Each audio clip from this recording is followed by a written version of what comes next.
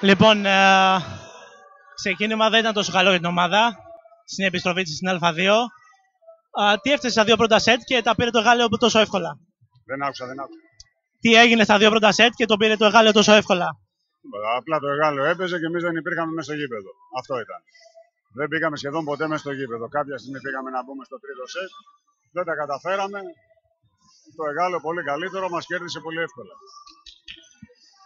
Α, τι μπορεί να βελτιωθεί για τη συνέχεια και να μείνετε στην κατηγορία πρώτος στόχος; Εντάξει, πρώτος στόχος σίγουρα από την αρχή του πρωταθλήματος είναι ότι για όλες τις ομάδες, εκτός από τις δύο τουλάχιστον που θεωρητικά είναι καλύτερες από τις άλλες, ο πρώτος στόχος είναι η παραμονή. Από εκεί και πέρα να παίξουμε όσο μπορούμε καλά. Εμείς για ένα παιχνίδι δεν το καταφέραμε αυτό. Να παίξουμε καλά. Ελπίζω στα επόμενα. Ευχαριστώ πολύ.